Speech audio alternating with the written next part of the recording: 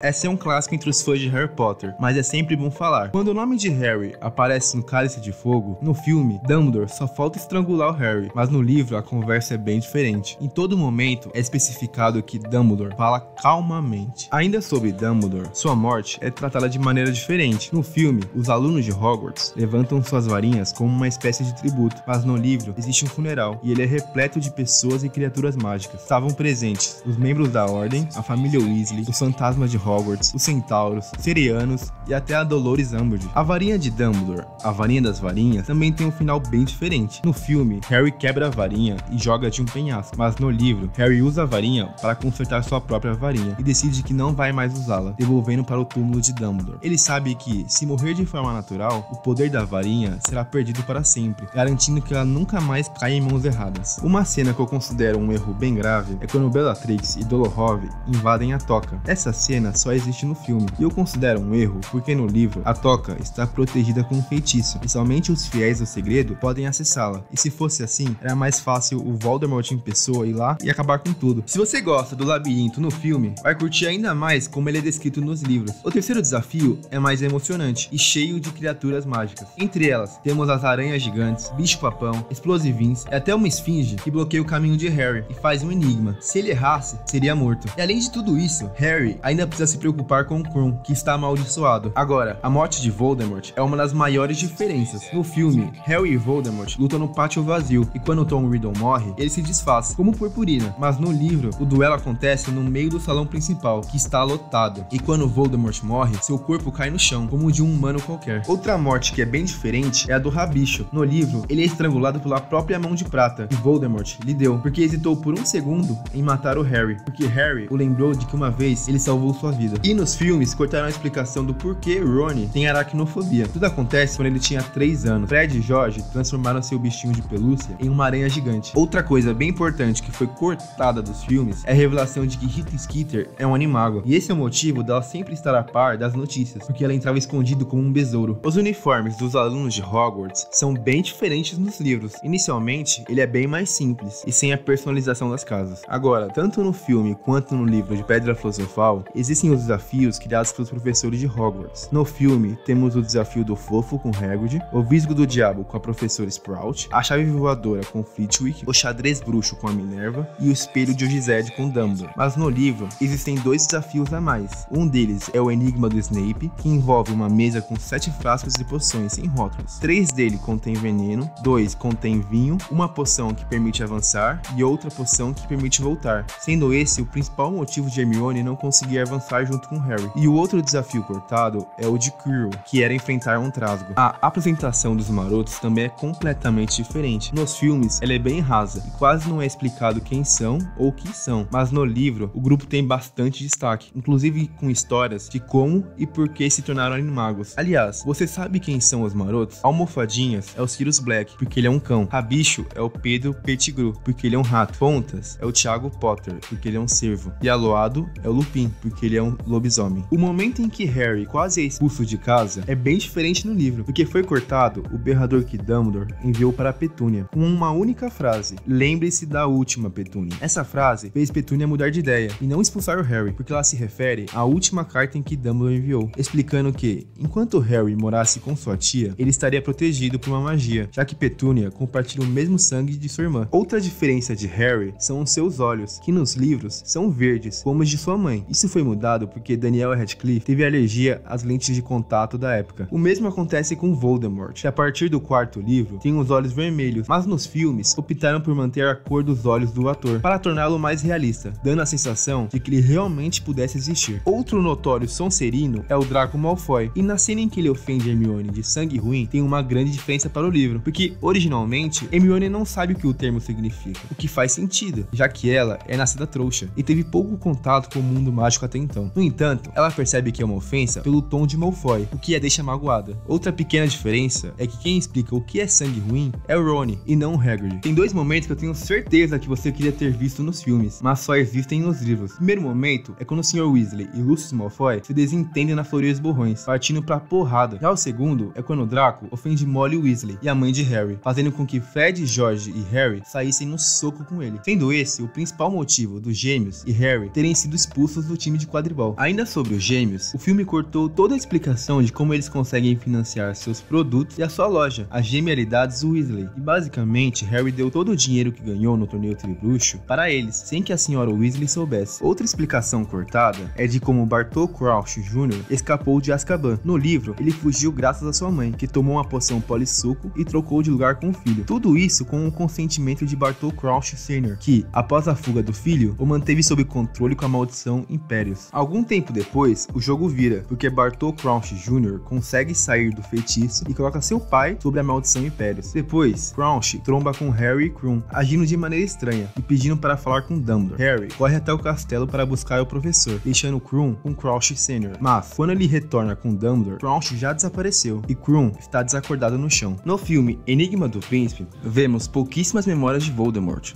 mas no livro, eu acho que praticamente metade dele é sobre a vida de Voldemort, e começa antes mesmo dele nascer, com a história da família Gaunt, que são descendentes de Salazar Sonserina e são ofidioglotas. Meryl Gaunt, a mãe de Voldemort, se apaixona por um trouxa, Tom Riddle Sr., e usa uma poção do amor para conquistá-lo, mas depois de um tempo, ela para de dar a poção, achando que ele a amava de verdade. Contudo, quando o efeito passa, ele a abandona, deixando-a grávida e sozinha. O livro também mostra a vida de Voldemort após se formar em Hogwarts, com ele indo trabalhar na Borgs Burks, a mesma loja que Draco e Lucius visitam. Também é mostrado a criação das primeiras Horcruxes. E por fim, um momento muito especial é quando ele vai até Hogwarts pedir o cargo de professor de artes das trevas. Mas, obviamente, Dumbledore recusa, o que deixa Voldemort com muita raiva, amaldiçoando o cargo. E depois disso, nenhum professor consegue ficar mais de um ano no trabalho. Um detalhe muito legal nesse momento é que, por ele já ter feito algumas Horcruxes, seu rosto está totalmente desfigurado, parecido com o que acontece com Siths, quando eles aderem o lado negro da força. Dumbledore até comenta sobre isso e fala sobre como o nome Voldemort já era bem famoso na época. Nos filmes, Harry nunca chegou a usar efetivamente o Crucio.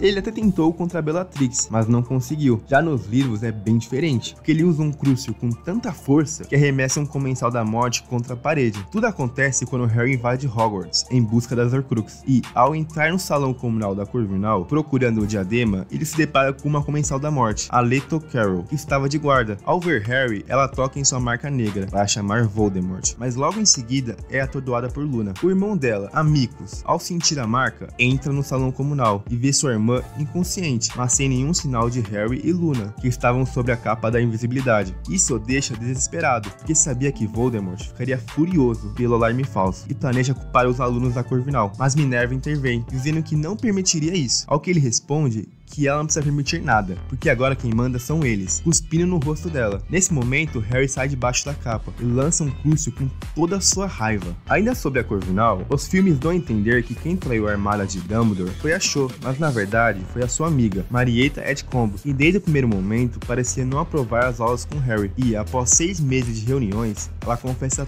tudo para Umbridge, mas o que ela não sabia é que Hermione enfeitiçou o pergaminho com as assinaturas dos participantes, para que, caso alguém traísse a ordem, eles soubessem. Após a traição, Marieta ficou com várias espinhas em seu rosto, formando a palavra traidor. O ataque ao Sr. Weasley pela Nagini é um pouco diferente no filme, porque originalmente vemos sua recuperação no Sem Mungos, que basicamente é o Hospital Bruxo. E dentro do hospital, muita coisa legal acontece. Por exemplo, uma aparição do Lockhart, que após o segundo ano ficou com danos permanentes em sua memória, não se lembrando de praticamente nada e ficando meio maluco. Também tem uma briga entre a senhora e o Sr. Weasley, porque ele usava métodos trouxas para tentar se curar, o que ela desaprovava. Mas o mais importante é que ao sair do quarto do Sr. Weasley, eles passam pela ala de danos permanentes, se deparando com o Neville, visitando seus pais, Alice e Frank Longbottom, que foram torturados até a insanidade pela Bellatrix, Arthur Crouch Jr. e os irmãos Lestrange, ao ponto que eles não conseguem nem reconhecer o próprio filho. Um outro fato curioso sobre o Neville é que em dois momentos dos filmes, ele serve como uma espécie de substituto do Dobby. O primeiro momento é na segunda tarefa do torneio Tebruxo, sendo originalmente o Dobby quem dá o rio Richo ao Harry, e um ano depois é o Dobby quem descobre sobre a sala precisa, contando para o Harry depois. Se você acha o primeiro beijo da Ginny e do Harry meio xoxo e sem graça, provavelmente você iria gostar muito de como ele acontece nos livros, porque é